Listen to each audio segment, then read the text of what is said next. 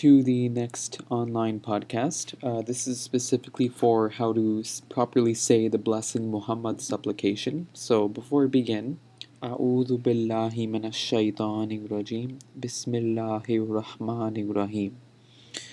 Okay, so I know you had trouble with uh, reciting this, and what we're going to do is I'm going to start with the translation for this. I'm going to make a couple of notes, and then we're going to get to the breakdown of each of the verses and notes along aside with how to say those verses properly. So let's start with the translation. So, O Allah, let your blessings come upon Muhammad sallallahu alaihi wasallam and the family of Muhammad, peace be upon him, as you have blessed Ibrahim alayhi salam and his family. Truly you are praiseworthy and glorious. Allah bless Muhammad sallallahu alaihi wasallam and the family of Muhammad peace be upon him as you have blessed Ibrahim alayhi salam and his family. Truly you are praiseworthy and glorious. Okay. So a couple things to note here. Notice that when I'm saying sallallahu alaihi wasallam I'm connecting the who and the alayhi part. So you want to say hu alayhi wasallam. Okay?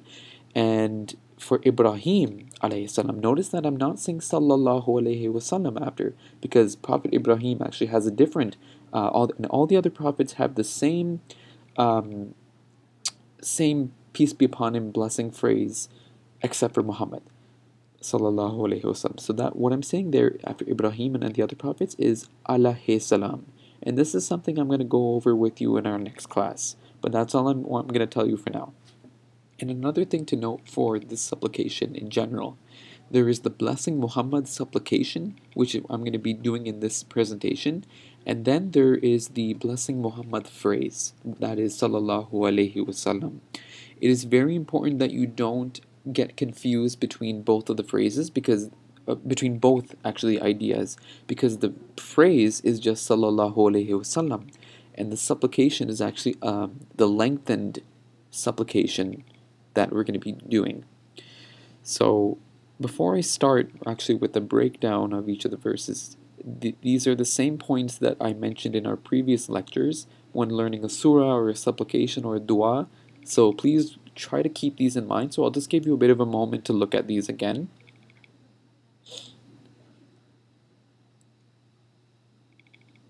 Okay, so now that you've taken a look at these, um, you're going to see that in each of the verses. So start with verse 1.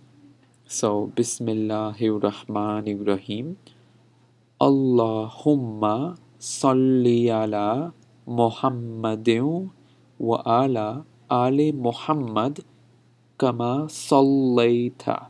Okay, so a couple things to note over here. The first thing to note is Allah. So the law part in Allah, you have to say this strongly as possible because Allah, you know, we he, it means it is the Arabic word meaning the God, but um, you want to make sure you're not saying Allah like as people would say in English, but you want to say Allah. Okay, in the beginning when you say Allah. The next thing to note here is hum. So not like the English for hum. That's not how you say it. You want to say hum, okay? So as in Allahumma, okay? Next thing to note, sol. The so here you you hear the strong sol sound coming from the letter sod. This letter here. Now you want to be very careful not to say sol, Okay, there's a difference. Again, like I mentioned before in other lectures, there's a difference between saying lul and lol, or actually sol uh, and sol okay so I'm over here I'm going to be saying Allahumma salli ala okay? Next thing to note deon. you practice practice practice. This is a very important word to get to get through. You want to say deon and not di, and not diao or dao okay? So deon, that's what you have to say. Another thing to note it is ala. So there are two alas in this verse. So the way I'm saying Allah, you hear me saying it like the English for, for, for Allah, right? I'm saying Allah. And where you have to say Allah is over here. So Allahumma salli ala, salli ala. And again, notice how I'm connecting E and E over here and, A and Allah together. Salli ala, okay? And then the second ala is over here, where I'm saying Muhammadun wa ala, okay? And the wa ala part, I'm not connecting the vowels there. I'm just saying wa ala.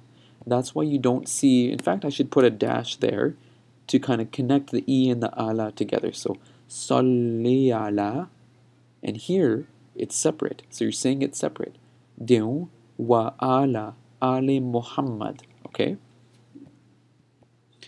The next thing to note is ale. So the way I'm saying ale right now is exactly how it is said in this verse. So what I mean by that is over here. Muhammad Muhammadun wa ala ale Muhammad. Okay? And even for Muhammad, you want to say Muhammad, okay? Not not Muhammad. So that's a bit of a tricky thing there. But that's a bit of an Arabic kind of um, tip to how to, to say his name properly. So Allahumma salli ala Muhammadin. Okay? Alright. And again, sol, it's the same concept for for the for the sol sound again. I think I said this twice, but uh, that's what it is there. But in the end here, when I'm saying sol, this initially was an A. So I was I corrected to a U because we're still saying the same sol. So kama sollaita. That's another thing to note. Make sure you do say sol instead of sol. You're going to be saying sol in all pretty much the, the same concept or sound from here is throughout all the verses in this lecture. So please keep that in mind. Okay, the next verse. Ala Ibrahima wa ala Ale Ibrahim innaka hamidum majid. I'll say that one more time for emphasis. Ala Ibrahima wa ala Ale Ibrahim innaka Hamidum Majid. Alright? So a couple things to note over here. There are some familiar words. So again, we're applying some of the concepts on the first slide that I showed you. Ibrahim. So Prophet Ibrahim salam. So now we know that in this verse we're talking about him. The next thing here is to note is first we see Ibrahim when, when we first see the word Ibrahim, there is a ma ending added to that. But the second time we see Ibrahim, there is no ma ending. There is no ma ending. So I'll show you where that is. Uh, whoops. Yeah, here it is. Ala Ibrahima. Okay, that's the first Ibrahim there. Wa ala ala Ibrahim. There we go. Look, there's no ma added there. So keep that in mind.